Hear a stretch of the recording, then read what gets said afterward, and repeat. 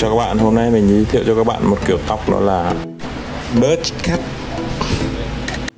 Kiểu tóc này thì như chúng ta vẫn gọi đó là đầu cua. Tức là cắt phần trên ngắn tầm khoảng một phân Phân rưỡi, hai phân gì đấy Tùy theo à, mục đích của khách hàng. Mình sẽ dùng cữ số 4 13mm để phần tốt gọn gàng. Mình cứ thế đẩy từ trước ra sau, đẩy xung quanh, đẩy từ phía, đẩy như lúc nào phần trên nó đều nhau nữa là được. Kiểu tóc này thì phần trên đẩy free, freedom.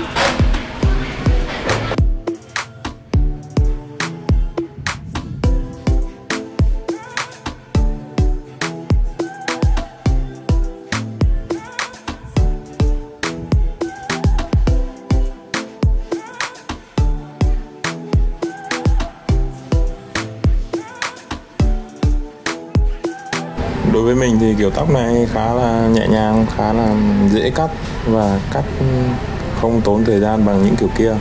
Tại vì mình chỉ cần chú tâm vào cắt hai bên sai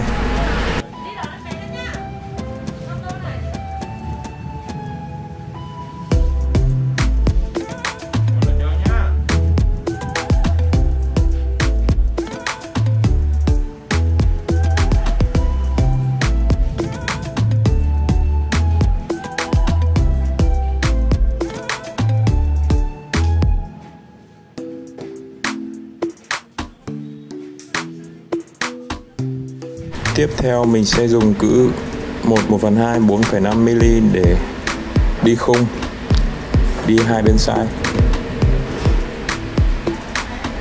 cứ thế ờ, đẩy đến phần top.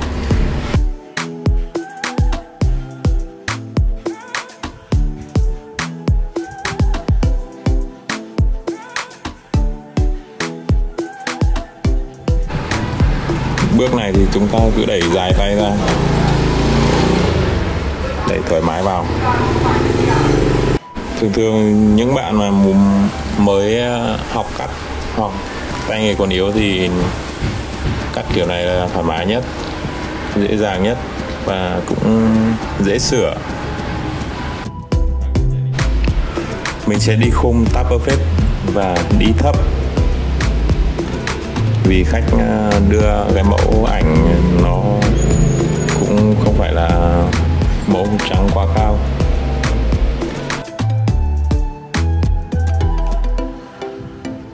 Chúng ta sẽ phát triển từ hai bên mai và sau gáy thấp.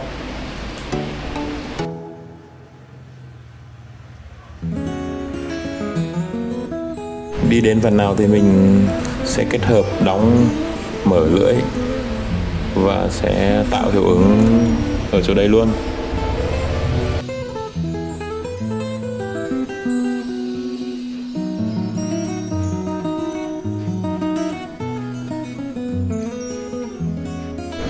Làm như thế thì cắt kiểu top perfect sẽ rất là nhanh.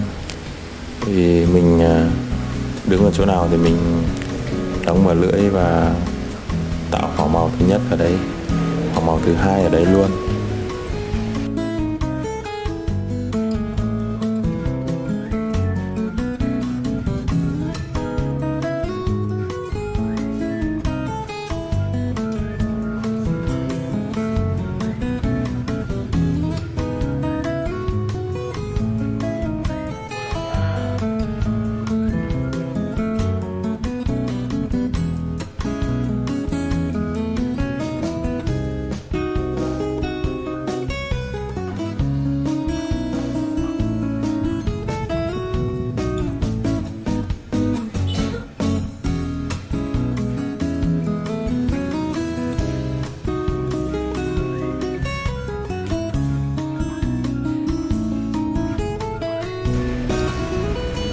Tiếp theo chúng ta sẽ dùng cữ số 1 để đi khoảng màu số 3 chúng ta sẽ đi từ mai cho đến gáy và khoảng cách là 2 cm khi đi thì chúng ta sẽ vẩy tông ra ngoài.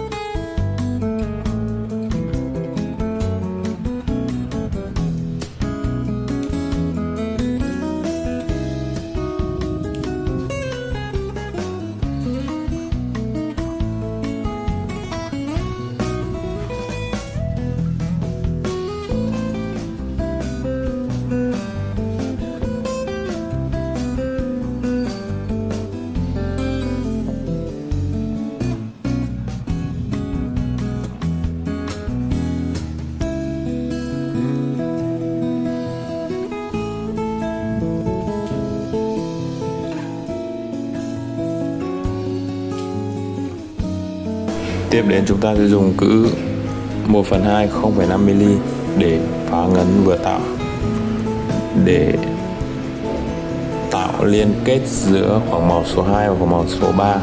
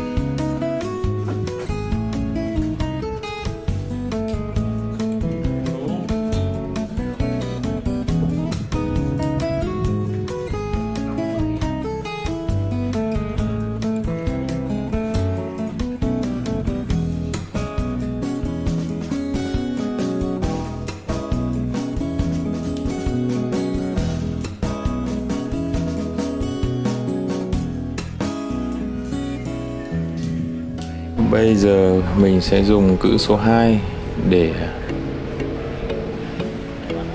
đi thẳng khung, để liên kết giữa top và hai bên sai.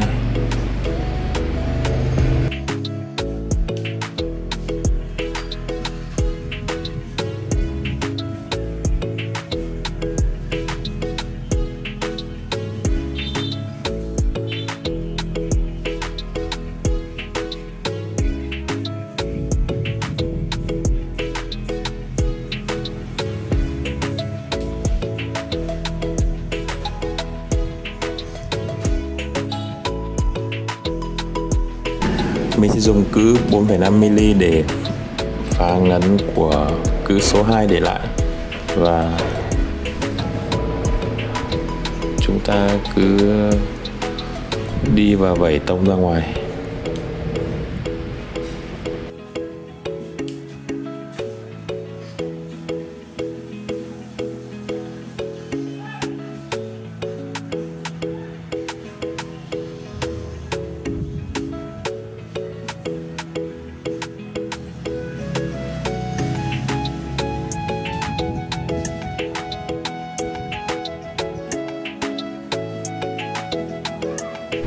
Tiếp theo chúng ta dùng kéo tỉa để liên kết giữa phần sai và phần top để hiệu ứng nó được chạy dài từ phần chân tóc cho đến đỉnh đầu.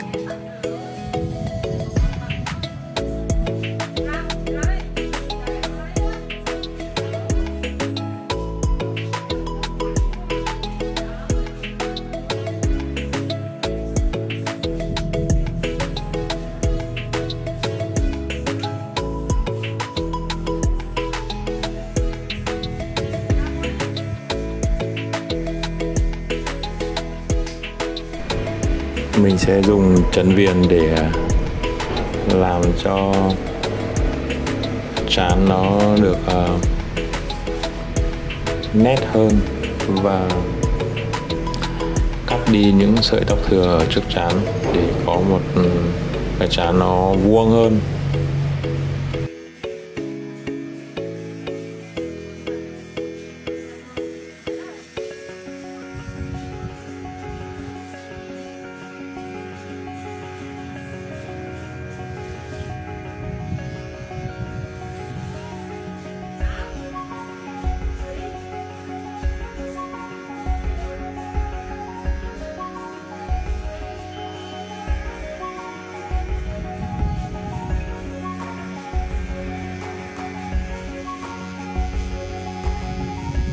Sau đó chúng ta sẽ cạo hết phần tóc thừa ở chân. Cạo à, phần gáy và hai phần mai. Rồi chúng ta sẽ đi bo viền phần mai.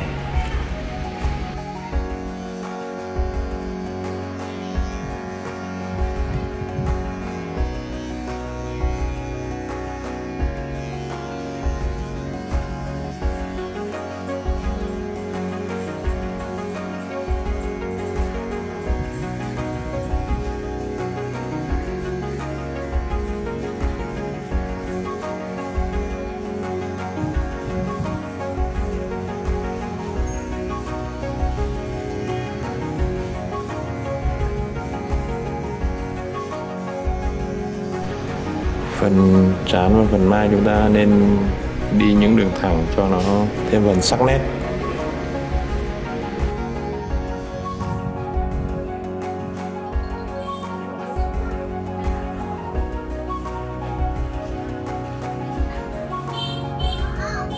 Ờ, bây giờ chúng ta chỉ cần cạo nữa là xong.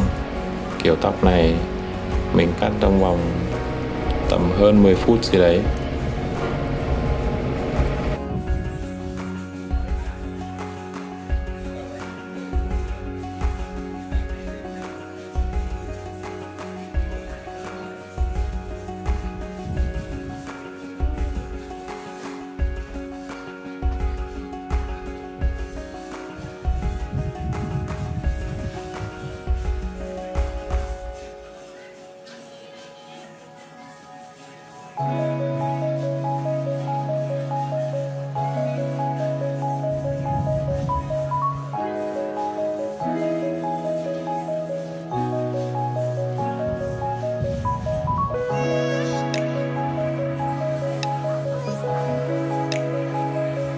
Vì khách ngồi sau còn đông nên mình cũng cắt vội hơn mọi ngày và không thể tỉ mỉ bằng những kiểu đầu trước kia.